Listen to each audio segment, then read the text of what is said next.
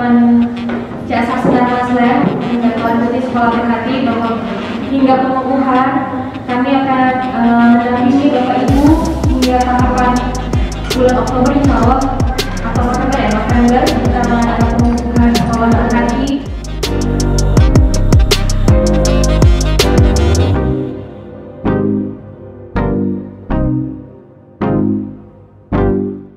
Bagaimana kita memilih supaya sekolah kita tampak hijau bisa membuat aura lingkungan kita tampak hijau. Nah itu butuh pengetahuan.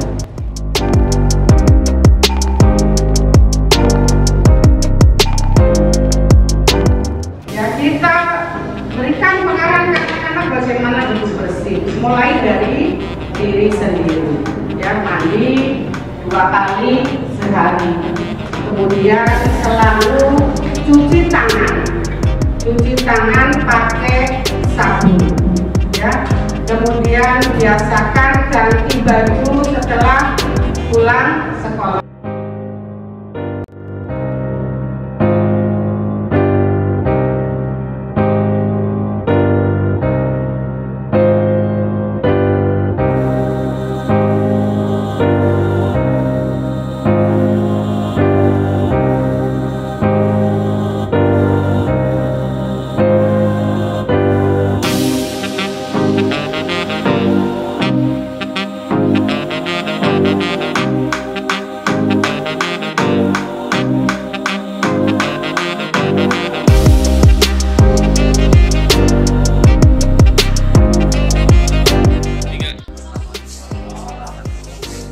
saya Nurdin, saya sekolah saya di SMP Fikri atau sudah mengikuti eh, berhati ini sangat luar biasa buat kami dengan adanya acara-acara seperti ini membuat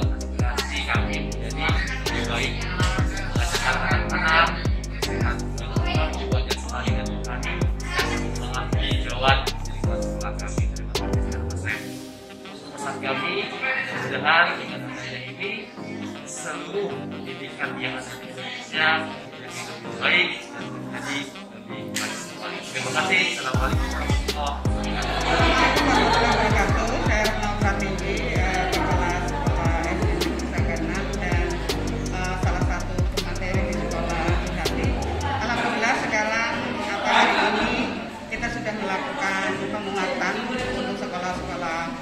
berhati yang nanti akan dikumpulkan di bulan Oktober.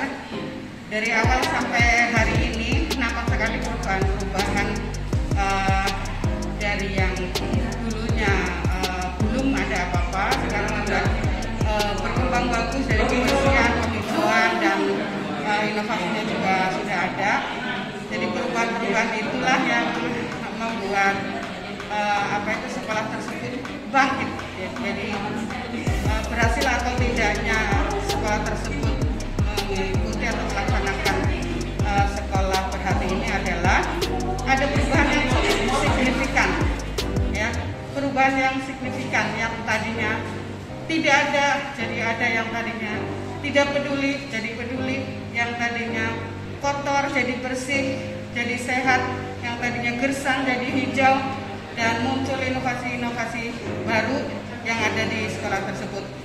Eh, saya berharap sekolah berhati itu eh, berkelanjutan sehingga nanti setelah pengukuhan di bulan Oktober dan setelah pengukuhan akan berkelanjutan seterusnya. Terima kasih. Wassalamualaikum warahmatullahi wabarakatuh. Pertama saya senang sekali ya karena para pesertanya itu begitu antusias ya untuk mendengarkan apa yang diberikan dan itu penting karena pesertanya itu nanti akan memberikan eh, ilmu atau pengetahuan ini kepada anak didiknya dan juga mungkin kepada sekolah lain yang ingin belajar terhadap yang apa yang disampaikan tadi yaitu cara membuat kompos dari sampah taman di lingkungan sekolah.